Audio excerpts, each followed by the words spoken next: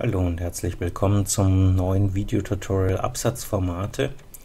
Wenn man Word 2010 öffnet, dann sind die Absatzformate so eingestellt, dass der untere Abstand auf 10 Punkte gesetzt ist, der Zeilenabstand ist auch höher und so ergibt sich dann praktisch bei einer Zeilenschaltung ein größerer Abstand. Das ist von Vorteil, wenn man hier Absätze bilden möchte, wenn man hier aber Aufzählungen machen möchte oder eine Adresse in einem Brief schreiben möchte, dann ist das natürlich ungünstig.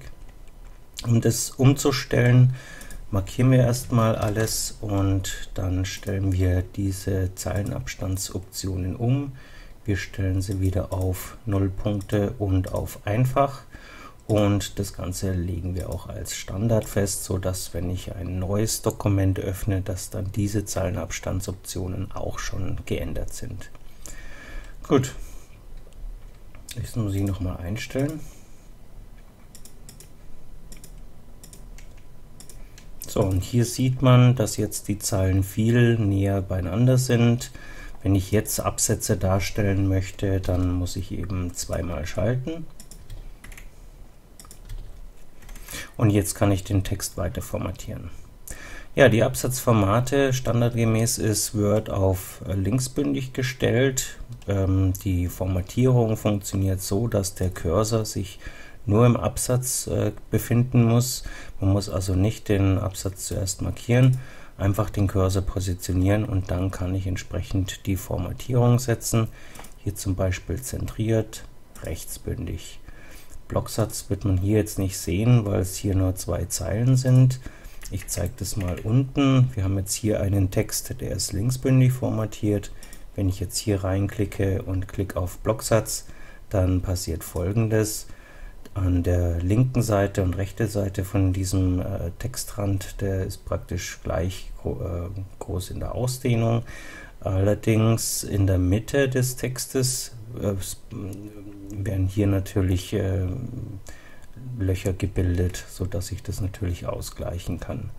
Man kann das noch ein bisschen verschönern, wenn man hier die Silbentrennung einschaltet, dann gleicht sich das noch mal ein bisschen aus.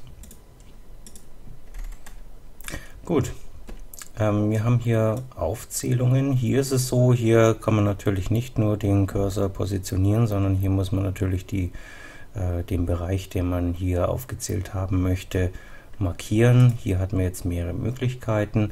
Einmal mit Aufzählungspunkte. Der Pfeil nach unten, der zeigt immer an, dass ich hier mehrere Möglichkeiten der Formatierungen habe. Wenn wir hier mal reinklicken, dann sieht man hier, ich kann hier also auch äh, Kreise einstellen, ich kann hier Pfeile verwenden oder hier rechts kann ich eine Nummerierung verwenden. Hier haben wir auch nochmal die Möglichkeit, die Nummerierung entsprechend zu formatieren. Es gibt sogar eine römische Nummerierung.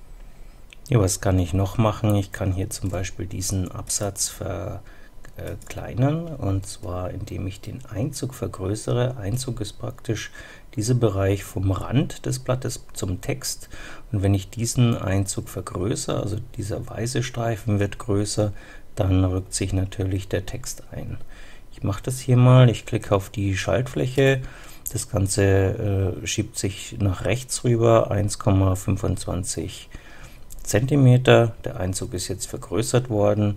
Ich kann das natürlich noch weiter machen und ich kann das natürlich mit der anderen Schaltfläche wieder rückgängig machen. So habe ich weitere Möglichkeiten, einen Absatz entsprechend hervorzuheben. Was gibt es noch? Ich kann äh, auch die Farbe eines äh, Absatzes entsprechend ändern. Ich klicke hier auf den Farbeimer.